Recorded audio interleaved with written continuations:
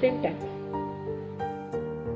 That are considered to be correctly structured programs in that language.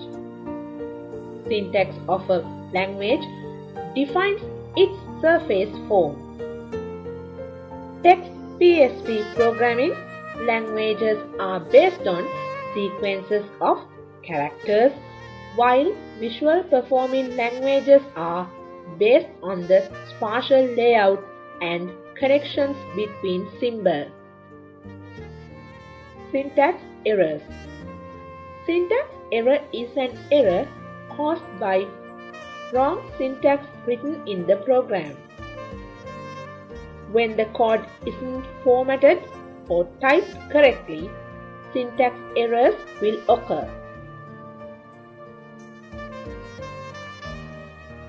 We are going to compare C, C Sharp, Java, PHP programming languages. C syntax is a set of rules specifies whether the sequence of characters in a file is confirming C source code. In C programming language, variables are declared by variable's name and the associated type. In example 1 shows how variables are declared in C. Now we'll have a look at for function in C.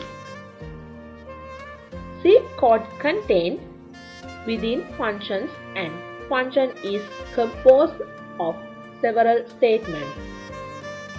Each statement is terminated by a semicolon. For an example, a simple function to add two numbers may look like this.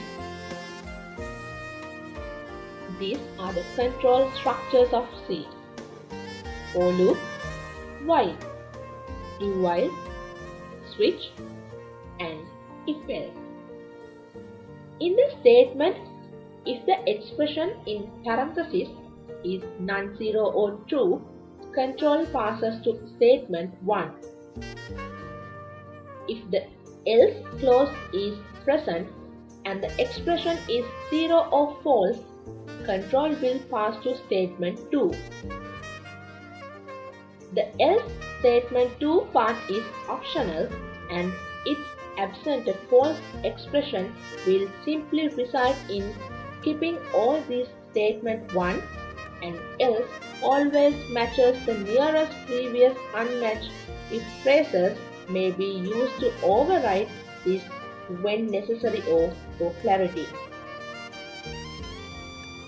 The switch statement causes control to be transferred to one of several statements depending on the value of an expression which must have integral type. The substatement controlled by a switch is typically compound.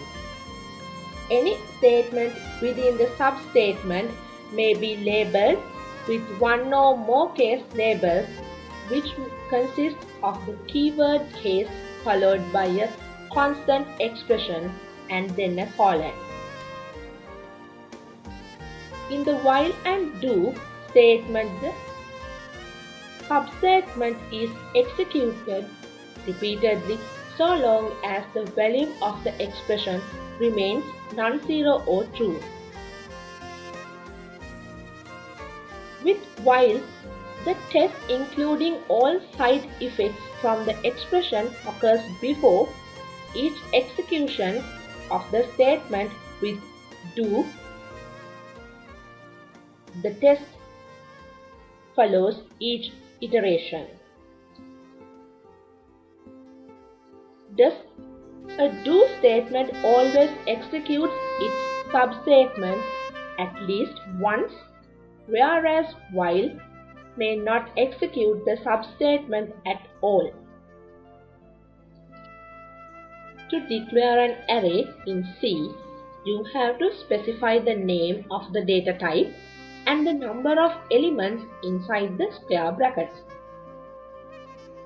If the size is not defined, the default size of the array is taken by the compiler which is sufficient for most purposes. In example 2, declaration the ARR is an array of integer type. The values inside this array ARR or any array can access with the array indexes. Here is the syntax for accessing an array at index 2.